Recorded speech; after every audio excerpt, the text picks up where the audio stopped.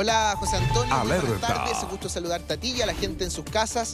La verdad es que es un operativo encargado por la Delegación eh, Presidencial de la Región Metropolitana en conjunto con la Seremis de Salud y también la Alcaldía de Santiago y que realizaron un masivo operativo durante la jornada de ayer en el casco histórico de la comuna de Santiago, específicamente con funcionarios de la tercera comisaría de Carabineros, porque ellos estaban justamente apostados junto con funcionarios municipales recorriendo todo lo que es el sector de calle Puente, lugar que hemos visto en reiteradas ocasiones que se realizan operativos contra el comercio ambulante, pero eh, lamentablemente estas situaciones de incivilidades, situaciones de eh, aglomeración de este comercio no permitido, eh, se repite constantemente y en este caso en el Paseo Puente eh, fue justamente lo que ocurrió. Luego de que personal de carabineros llegara a la zona, se re- retiraron varias cocinerías ilegales que fue el punto central de esta fiscalización y a través de ello se realizaron algunas incautaciones de cerca de em, de algunos 115 perdón, eh, cocinerías ilegales de estos carritos que vemos comúnmente en la calle que estaban apostados eh, realizando comercio en esa hora y lo que llamó poderosamente la atención de los funcionarios municipales fue que cuando ellos llegaron hasta ese lugar ya se estaban comunicando algunos comerciantes para alertar de la presencia de carabineros y de los eh, propios em, eh, funcionarios que estaban en esa zona desplegados. De hecho, este operativo se realizó de forma eh, bien minuciosa, estuvieron de alguna forma em, esperando el momento indicado para salir del metro, de las instalaciones del metro de Santiago y eh, realizarlo esto de forma em, sin previo aviso a estos comerciantes que eh, fueron de alguna forma incautadas todas sus especies, pero no se logró la detención de ninguno de ellos, solamente estaban cometiendo algunas infracciones en contra de la ley y por eso se les retuvo eh, principalmente 200 bebidas, señalaba personal de la Municipalidad de Santiago, también cerca de 500 kilos de comida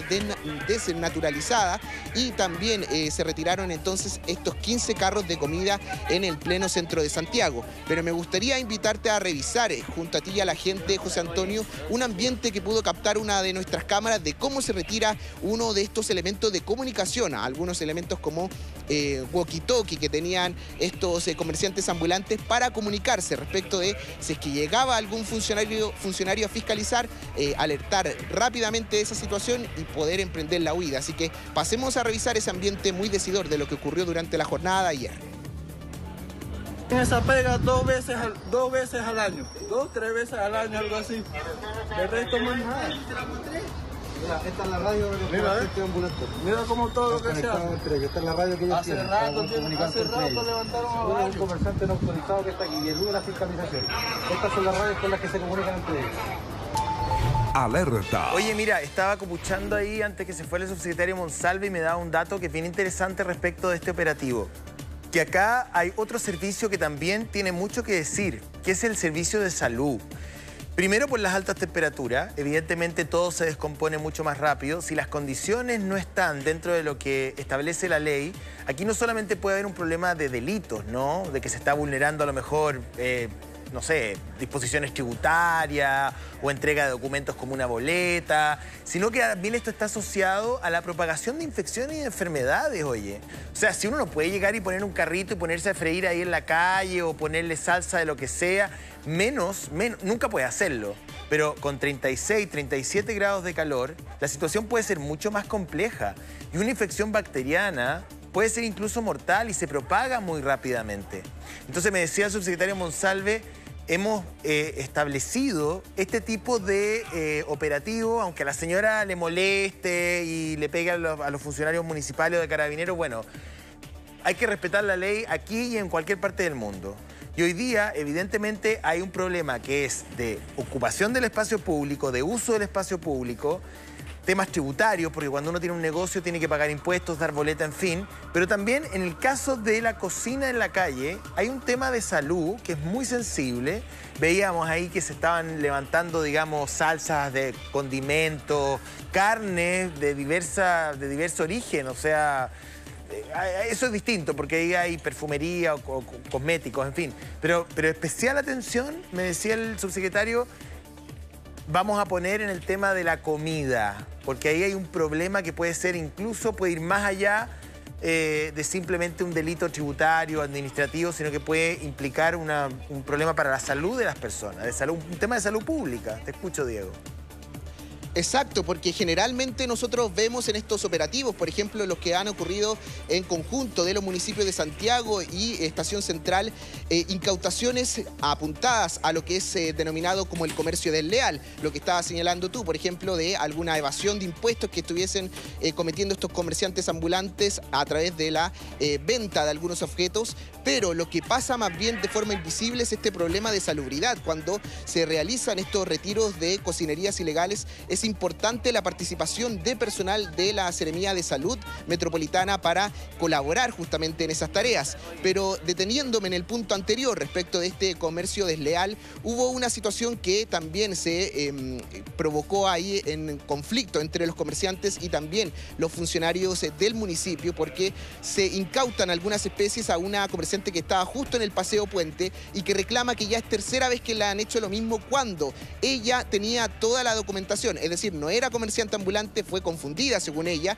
y que ella tenía las patentes, pero lo que le genera sospecha a los funcionarios es que aparentemente ella estaba arrendándole su puesto a eh, personas que no tenían ninguna documentación y es ahí cuando se genera todo un proceso de investigación para ver si es que las palabras de esta comerciante son reales. O sea, estábamos mirando en la imagen anterior eh, una persona como agarrada de una cocina, el balón de gas corría por el, por el pasillo, eh, que puede ser súper peligroso además. Mira, aquí hay varias dimensiones. ¿ah? Primero, a ver, hay que ser súper sensato y súper lúcido. O sea, este no es un grupo de Boy Scouts que está vendiendo agüita fresca. ¿ah? En una esquina, así como cuando los niños están juntando para, para la kermés del colegio. No, esto es otra cosa. Aquí no hay personas que hicieron un queque y lo están vendiendo en la esquina de la plaza o, una junta de vecinos. Aquí hay organizaciones que son mucho más profundas, están mucho más ramificadas, incluso que son mucho más peligrosas y mucho más organizadas de lo que nosotros creemos. Entonces, mirar este fenómeno como que se trata de los Boy Scouts o como que se trata de la señora que hizo un queque y lo quiere compartir con la junta de vecinos, con el barrio, eso es un tremendo error. Esto es un problema mucho más grueso y sustantivo, eso es lo primero. Y lo segundo, más allá de todo lo evidente, problemas en el uso del espacio público, no se puede caminar o es, complejo caminar. Problemas desde el punto de vista tributario, cuando uno tiene un negocio tiene que pagar impuestos. O sea, eso es, eh, eh, uno paga impuestos siempre y, y eso es la ley. Es un comercio muy desleal con quienes pagan impuestos, con quienes tienen un puesto, un restaurante, un food truck o lo que sea, ¿no es cierto?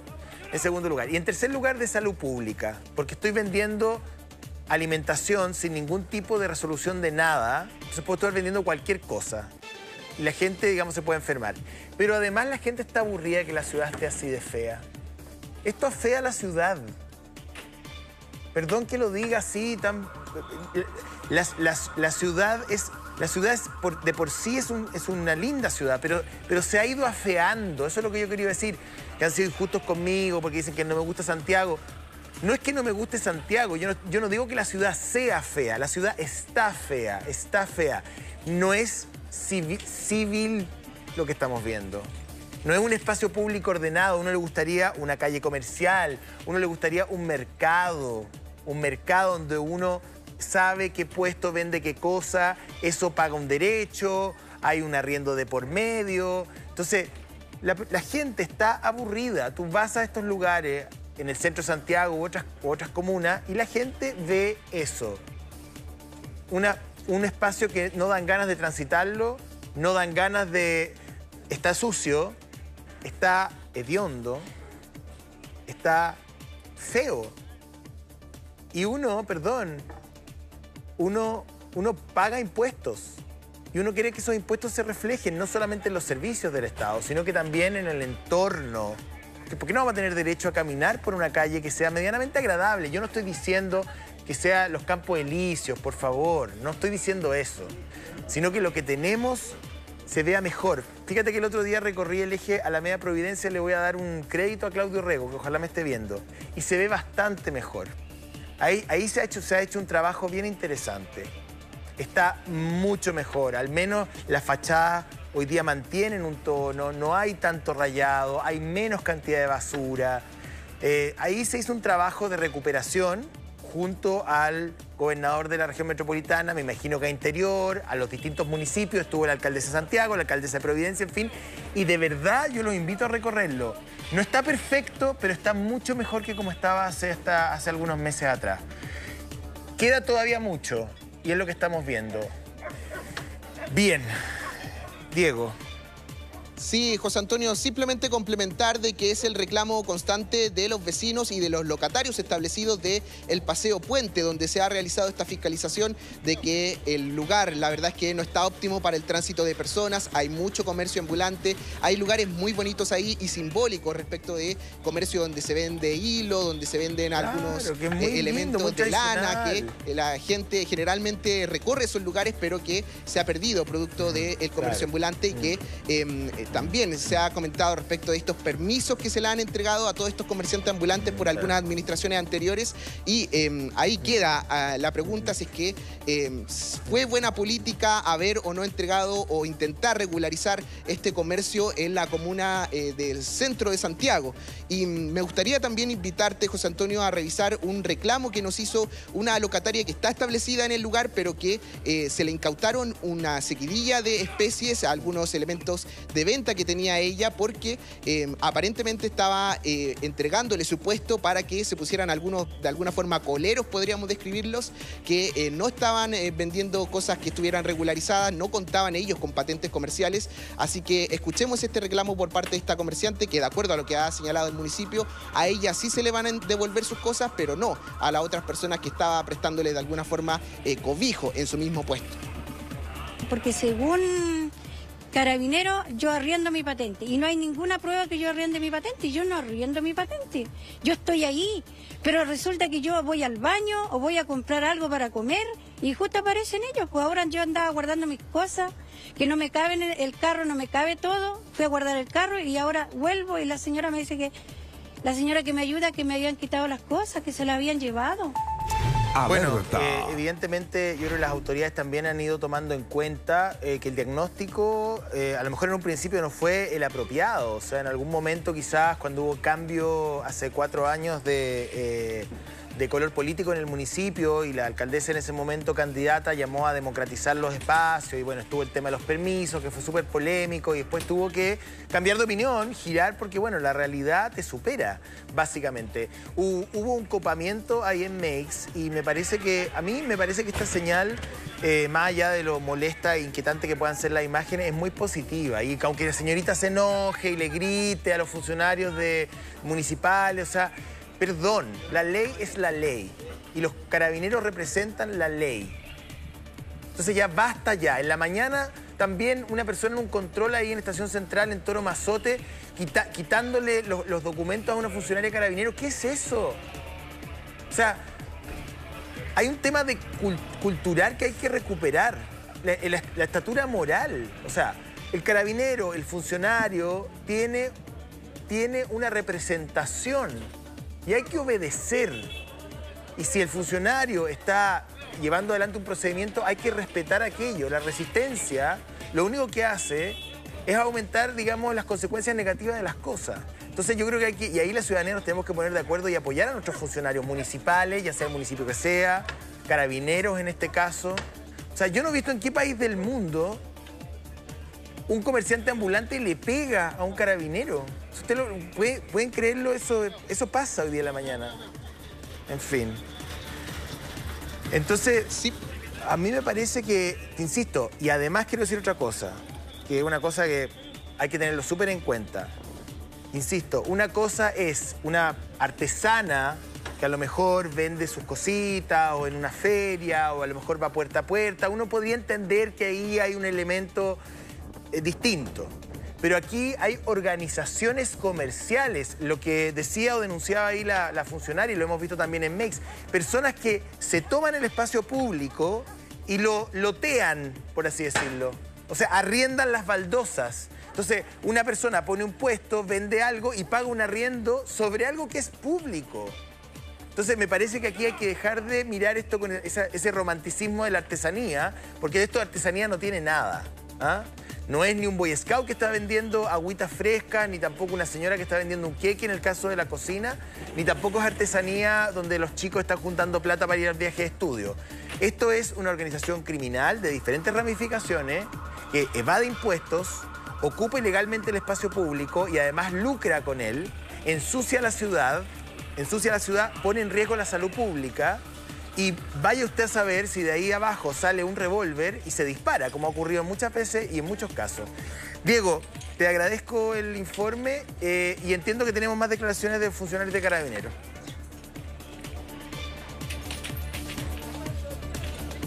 Sí, José Antonio, se ha establecido una estrategia de eh, semana a semana ir con estos operativos, así que te voy a invitar a conocer las palabras por parte de Carabineros porque esta estrategia se va a aplicar en distintos sectores de la comuna de Santiago.